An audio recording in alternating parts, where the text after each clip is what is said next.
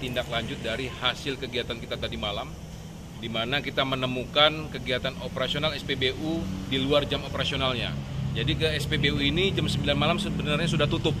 Namun di atas 9 ma- jam 9 malam mereka pengisian ini yang tidak sesuai dengan aturan di mana pengisian kami temukan sampai 440 liter terhadap satu orang konsumen di mana eh, yang kita telah amankan adalah satu unit mobil eh, dengan merek Brio warna merah yang di dalamnya terdapat 16 galon.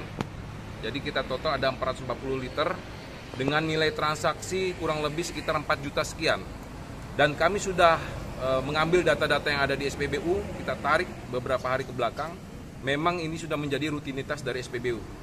Jadi di atas jam 9 setelah SPBU tutup, mereka masih melakukan pengisian sampai di bawah pukul 11 dan pengisian di atas jam 9 itu rata-rata pengisian di atas dari ketentuan normal di mana maksimal dari pengisian terhadap konsumen pertalite maksimal 120 namun di situ kami mendapatkan data ada yang sampai diisi 560 liter ada yang 300 280 liter bervariasi.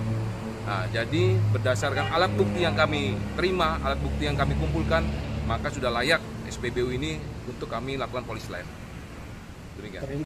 Terduga pelaku untuk konsumen yang kami temukan di lapangan satu, kemudian nanti kami akan kembangkan dan satu orang pengawas dan satu orang operator. Tapi kami akan terus kembangkan untuk mencari e, terduga pelaku lainnya. Oke,